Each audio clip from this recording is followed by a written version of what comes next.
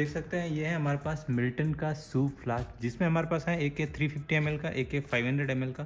तो चलिए इसको खोल के पूरा डिटेल रिव्यू देते हैं। तो सबसे पहले हम 500 हंड्रेड को ओपन कर लेते हैं। उसके बाद में 350 फिफ्टी को ओपन कर लेते हैं। एंड दोनों का जो वाइड है माउथ वो सेम ही होने वाला है। सिर्फ़ इसका जो है हाइट का थोड़ा डिस्टेंस होता है, जो कि हाइट के हिसाब से आपको 500 हंड्रेड हो जाएगा, जो कि 150 fifty extra.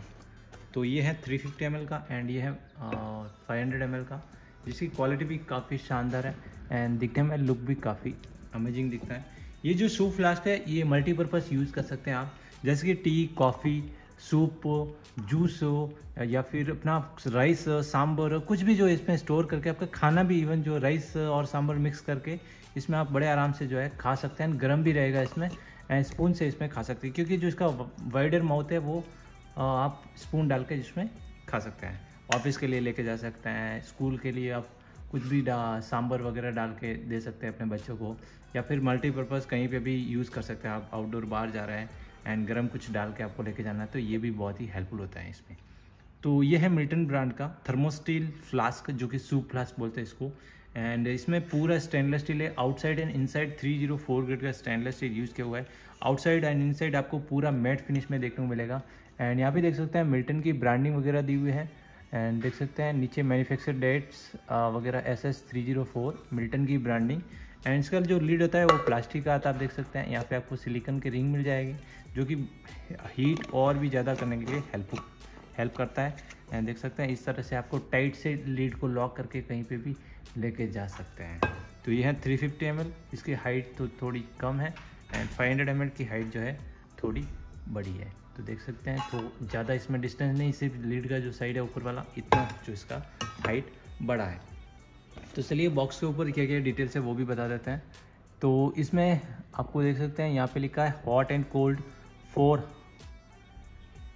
vacuum insulated keeps liquid hot and cold for hours यानी कि ज़्यादा टाइम तक ये जो है गर्म रहेगा।